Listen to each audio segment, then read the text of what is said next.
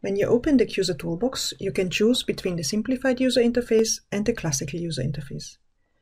I'm going to show you briefly what you can do with the simplified user interface. Just to note that the simplified user interface is foreseen to be replaced by the web client in the not so far future. To get started, you need to define your input chemical. You can input your chemical by CAS number, name or smiles, or you can draw your structure. You can also enter your substance via EC number or MITI number. I select now EC number and we use 212-454-9. Search for EC number and the QSAR toolbox finds hydroxyethyl acrylate. Here, highlighted in blue, are some more information about the substance, for example, alternative names or databases and inventories the substance was found. I confirm the selection. With the simplified user interface, you can collect data Apply profiling to learn more about the characteristics of your substance and find analogs. Let's collect the data. So here you have the options between all data and specific data for a specific endpoint.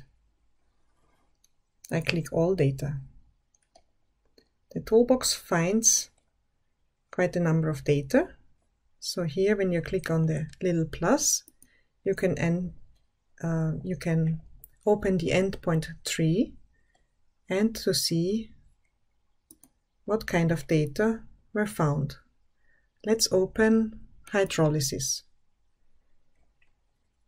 Here in the cells, for some of the cells you find a small green dot. I hope you can see it on the screen. What does this mean? A green dot means there is more behind the cell than what you can see. To make it visible, just open the cell with the cursor. So now you can see all the results that were found for half-life. We see here the half-life is in the range between uh, 0.05 and 290 days.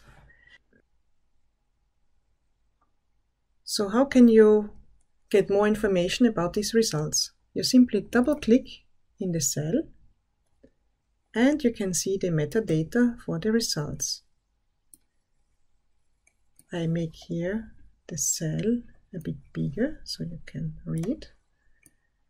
It says here, the substance rapidly hydrolyzes at pH 11,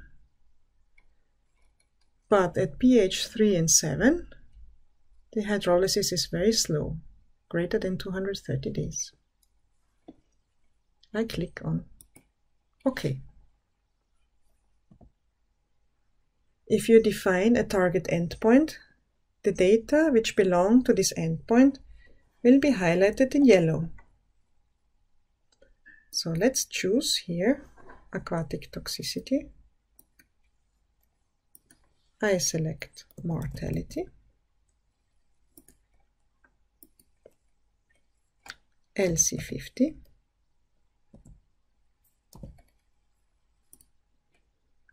And for the duration.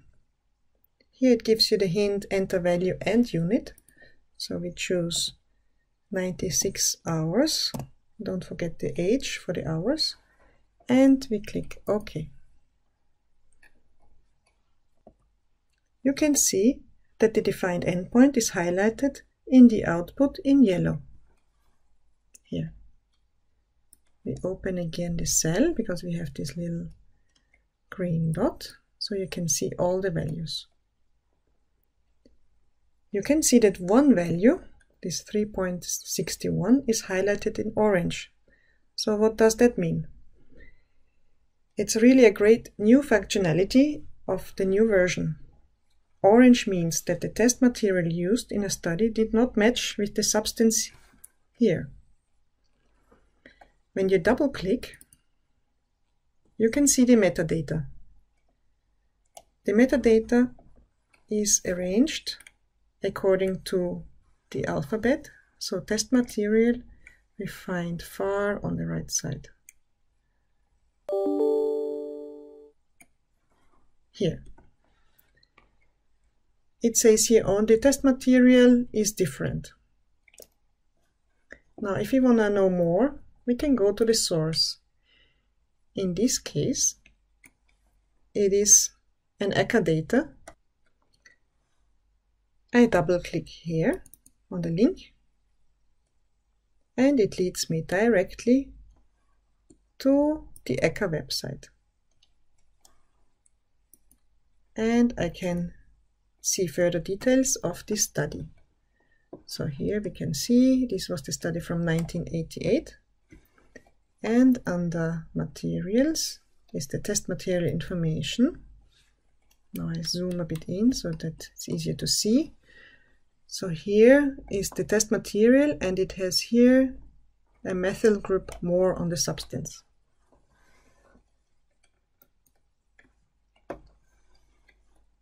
And here this is our target substance for comparison. I close here this window.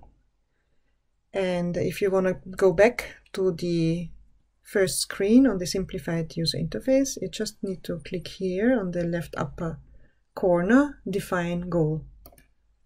So it gets you back to the entry screen. In order to get the first idea about the toxic profile, click on All Profilers.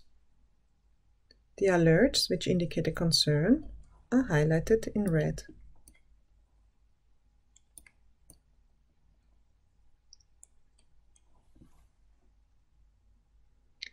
There is the possibility that you run specific profilers, or you can run transformation reactions on the substance and then run the profilers on those transformation products. This is accessible via this uh, button specific profilers with metabolism. I don't show it here as we have prepared an example with that via the classical user interface. You can find similar substances, for example, similar in structure, by using find analogs by functional groups. You can also choose by other criteria. We can, for example, choose here a profiler that is related to our defined endpoint. It's highlighted here in green. So here on the right window, it would indicate what the profile, the profiler identified for your substance, for example, for uh, aquatic toxicity mode of action by OASIS, it identifies reactive unspecified. If we go to EcoSAR, it identifies acrylates. So let's choose the EcoSAR profiler. We can also select databases here. It also highlights and pre-suggests already databases that are linked with the endpoint, which is aquatic toxicity. So I'm interested in ECHA-REACH data. Okay. And I click Find Analogs.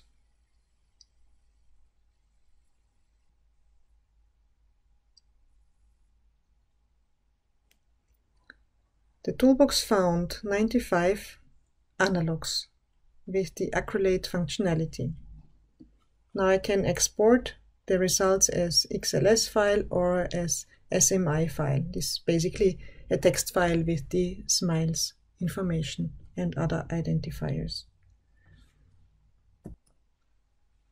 Those are basically the functionalities I wanted to show you from the simplified user interface. You've seen now how you can input a chemical, also using the EC number. I've shown you how to collect data, that you can uh, do profiling and find analogs. The simplified user interface is what it says. It is simplified. And you have access to the very basic functionalities. But maybe this is all what you need, and it's for sure a great way to get started with the QSAR Toolbox. For a refined search and many more functionalities, the classical user interface is the interface to go. The great thing is that you can switch between the simplified and the classical user interface anytime. So you can even get started in the simplified user interface and then continue with the classical interface by clicking on this symbol here.